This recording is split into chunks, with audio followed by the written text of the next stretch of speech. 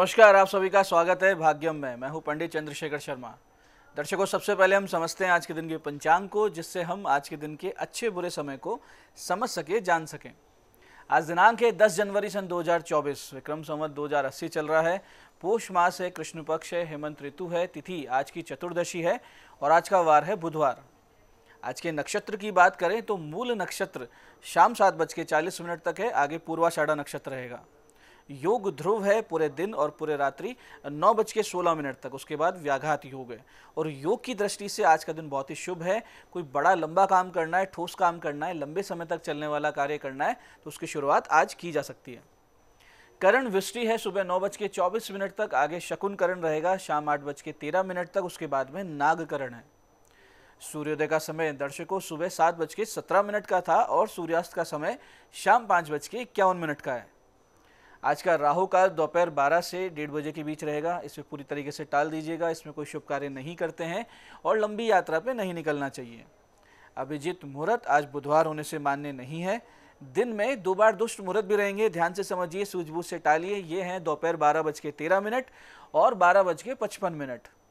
आज का दिशाशूल दर्शकों उत्तर दिशा में तो पहली कोशिश तो यही रहे कि उत्तर दिशा की यात्रा को आप टाल दें, लेकिन जाना बहुत ज़रूरी है, अनिवार्य यात्रा है तो परिहार करें। परिहार इस प्रकार होगा कि आप उत्तर की ओर मुख करेंगे थोड़ा सा धनिया या मूंग के दाने खाएँगे और पाँच कदम पीछे चलेंगे। और इस पूरी प्रक्रिया के दौरान अपने हृदय में, अपने इष्ट का ध्यान करेंगे, उन्हें अपने साथ मानेंगे, उनसे प्रार्थना करेंगे और फिर इस दिशा की यात्रा करेंगे। ऐसा करेंगे, यात्रा बहुत अच्छी रहेगी, दिशाशूल आपको परेशान नहीं करेगा। आज का शुभ समय दर्शकों, यानी कंपैरेटिवली आज का सबसे अच्छा समय, जिसमें कुछ भी अच्छे काम करेंगे तो सफल होने के चांसेस ज़्यादा मिलेंगे। वो है सुबह आठ बजे से लेकर सुबह नौ बज के पचपन मिनट तक, फिर दोपहर बाद तीन बज के तीस मिनट से शाम पाँच बज के पचास मिनट तक, फिर शाम सात बज के पैंतीस मिनट से रात्रि नौ बज के तीस मिनट तक। तीनों कालखंड बहुत अच्छे हैं, इनका पूरा पूरा सदुपयोग करें। आज की चंद्र राशि दर्शकों, धनु है, यानी चंद्रमा धनु राशि से गोचर कर रहे हैं, जिससे आज का दिन सभी बारह राशियों के लिए कुछ इस प्रकार रहने वाला है। सबसे पहले बात करते हैं मेष राशि की। मेष राशि वाले स्वास्थ्य लाभ करेंगे, होगा भाग्योदय। वृक्ष राशि वाले लापरवाही से बचें। मिथुन राशि वालों को पार्टनर से होगा लाभ। वहीं कर्क राशि वालों को पैसे के लेन देन से बचना चाहिए आज। और सिंह राशि वाले सम्मान प्राप्त कर सकते हैं। वहीं कन्या राशि वाले ध्यान रखें कि अवसाद आप पर हावी ना हो जाए। तुला राशि वालों को मिलेगा अच्छा समर्थन। वृश्चिक राशि वाले कॉन्फिडेंस प्राप्त करेंगे, वहीं धनु राशि वाले रहेंगे, आत्मविश्वास से लवरेज और मकर राशि वालों को नुकसान संभव है। कुंभ राशि वाले करेंगे धन लाभ, और मीन राशि वालों को मिलेगा अपने पिता से समर्थन और आशीर्वाद। तो दर्शकों, ये था आज का पंचांग, जिसके समुचित ज्ञान से आप अपने पूरे दिन को सूझबूझ से, समझदारी से मैनेज करेंगे, सही समय का पूरा पूरा सदुपयोग करेंगे, और गलत समय पर कोई बड़ा कदम उठाने से बच जाएँगे। अब करते हैं आज के दिन की ज्ञान चर्चा, जो आपकी, हमारी अंत्यदृष्टि को, प्रज्ञा को जागृत करेगी। फिर आगे समझेंगे उन विशिष्ट उपायों को, जो आपको समस्याओं से बाहर ले आते हैं और जीवन में सफल बना देते हैं। अंत में करेंगे आज के दिन की ज्योतिष मंत्रणा और समाधान। दर्शकों, मनुष्य जीवन तप करने को प्राप्त होता है। तप के अर्थ आयु, अवस्था, परिस्थिति और कर्म के अनुसार अलग अलग हुआ करते हैं। जैसे कि स्टूडेंट्स यानी छात्र जीवन का जो तप है, वो अध्ययन में मन लगाना है, अपनी इंद्रियों पर नियंत्रण रखना है तो वहीं कर्मशील, यानी गृहस्थ जो कर्म करते हैं, उनका तप है कि अपने कर्म को योग मानकर उसमें रत रहना। ऐसे जो गृहिणियाँ हैं, उनका तप है कि अपने घर को स्वर्ग सा सुंदर बनाए रखें तो वहीं शिक्षक का, गुरु का तप है कि छात्र को, शिष्य को कुंदन बना दें, और तप बाह्य भी होता है और आंतरिक भी होता है। पदयात्रा, व्रत, उपवास, जप इत्यादि तप ही है। वहीं इस तप से सब कुछ संभव भी है। सब कुछ तप से प्राप्त भी हो जाता है, यहाँ तक कि राज ऐश्वर्य भी। इस संबंध में शास्त्र इस प्रकार कहते हैं कि यद दूरम, यद दूराराध्यम, यच्च दूरे व्यवस्थितम, तत्सर्वम तपसा साध्यम, तपो ही दुरति क्रमम। यानी जो दूर है, कष्ट साध्य है और दूर रहा हुआ है, वो सब कुछ तप से साध्य है, प्राप्त करने योग्य है। तो इसलिए तप अवश्य करें, जीवन में सुधार निश्चित रूप से आएगा। इसीलिए हमारे सनातन धर्म में इतने व्रतों का प्रावधान है, इतने सारे जपों का प्रावधान है, इसीलिए किया जाता है ताकि उस प्रकार से हम एक तप में लगे रहें और धीरे धीरे हमारे जो पाप कर्म है वो कटते रहें और पुण्य कर्म संचित होते रहें। तो दर्शकों, ये थी आज की ज्ञान चर्चा। अब बात करते हैं उन विशिष्ट उपायों पर, जो आपकी सभी प्रकार की समस्याओं के समाधान बहुत ही सरलता से आपको करके देते हैं और जिन्हें करके असफलता को बहुत पीछे छोड़ते हुए सफलता की ओर आप दृढ़ता से, तेज गति से अग्रसर होते हैं। सबसे पहले बात करते हैं उनकी, जिनका जन्मदिन है। तो जिन जिनका जन्मदिन है, आज आप सभी लोग भगवान लक्ष्मी नारायण मंदिर अवश्य जाएँ और एक ध्वजा अर्पित करें।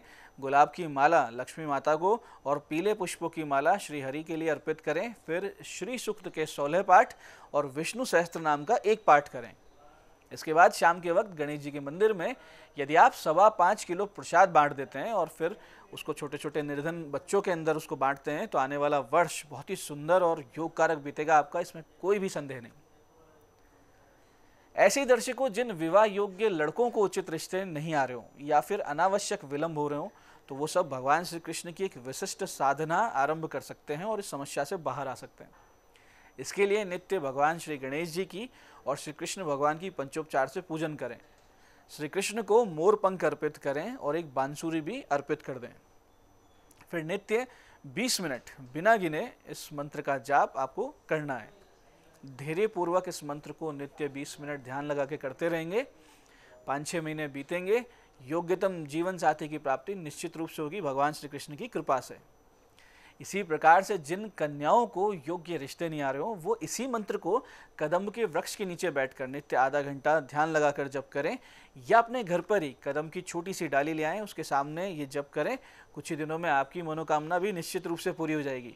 जो मंत्र जाप करना है वो ध्यान से समझिएगा, छोटा मंत्र है लेकिन सटीक कार्य करता है। मंत्र इस प्रकार है, क्लीम ऋषिकेशाय नम है क्लीम ऋषिकेशाय नम। है ऐसे दर्शकों, जिन दंपति के वैवाहिक जीवन सही नहीं चल रहे हों, लड़ाई झगड़े, बेवजह के मन मुटाव होते रहते हो, और समस्याएँ जीवन का एक हिस्सा, एक पहलू बन चुकी हो। तो ऐसी स्थिति में पति की जन्म पत्रिका में शुक्र ग्रह की स्थिति और पत्नी की जन्म पत्रिका में गुरु ग्रह की स्थिति पहले चेक करवाएँ और उनसे संबंधित अगर कोई दोष है तो उसका उपाय करें। साथ ही साथ जन्म पत्रिकाओं के सप्तम भाव, यानी विवाह भाव का दोष का भी पहले इलाज हो। इसके अलावा दोनों पति पत्नी एक छोटा सा उपाय भी करें। इसके लिए करना ये है कि नित्य भगवान गणेश जी और श्री कृष्ण का पंचोपचार से पूजन करें और फिर साथ में बैठकर आधा घंटा बिना गिने इस मंत्र का जप करें ध्यान लगाते हुए। कुछ दिन करेंगे, सारे दोष मिट जाएँगे, दंपति में आपस में प्रेम और सम्मान की स्थापना निश्चित रूप से हो जाएगी। जो मंत्र जाप करना है वो इस प्रकार है, ध्यान से समझिएगा। ओम नमो भगवते रुक्मणी वल्लभाय स्वाहा। ओम नमो भगवते रुक्मणी वल्लभाय स्वाहा। तो दर्शकों, ये थे आज के वो विशिष्ट उपाय जो आपको समस्याओं से बाहर ला रहे हैं, मनोकामनाएँ पूरी कर रहे हैं। अब बात करते हैं आपके सवालों की। आपके सवालों में आज हमारे पास जन्म पत्रिका आई है, हमारे दर्शक राजीव जी की। 28 जुलाई 1980 का जन्म है, शाम आठ बज के दस मिनट, कोटा। कार्य बहुत अटकते हैं, उपाय बताइए इनका प्रश्न है। देखिए राजीव जी, आपका कुंभ लग्न है, मकर राशि है। कार्य अटकने के पीछे बहुत बड़ा कारण है, आपकी जन्म पत्रिका में सूर्य ग्रहण भी है और चंद्र ग्रहण भी है। तो दोनों प्रकार के ग्रहण है। इसके साथ ही आपका लग्नेश शनि अष्टम भाव में है, इसलिए आप दोनों प्रकार के ग्रहण दोषों की पूजा शांति करवाइए और शनि के साथ गुना जब करवाकर गले में एक अच्छा सा नीलम पहन लीजिए, आपके कार्य अटकना बंद हो जाएँगे। इसके अलावा मंगल और शनिवार, यानी मंगलवार, शनिवार को किशकिंदा कांड के पाठ हनुमान जी के सामने करना शुरू कर दीजिए। आज की दूसरी पत्रिका ये हमारी दर्शक श्रेष्ठा जी की 25 मार्च सन 2004 का जन्म है, शाम पाँच बज के पाँच मिनट टोंक। प्रश्न किया है लव मैरिज और अरेंज्ड देखिए श्रेष्ठा जी सिंह लग्न और वृक्ष राशि की जन्म पत्रिका आपकी, लग्नेश, सूर्य सप्तमेश शनि और गुरु की स्थिति, ये दर्शा रही है कि आपकी अरेंज मैरिज ही होगी। वैवाहिक जीवन अच्छा है, आपका कोई विशेष दोष नहीं दिख रहा है वैवाहिक जीवन में, और विवाह का जो योग है, वो सन दो में आपका बन रहा है। आज की तीसरी पत्रिका ये हमारे दर्शक शिवम जी की, चार मई उन्नीस सौ बानवे का जन्म है, दोपहर दो बज के तेरह मिनट जोधपुर।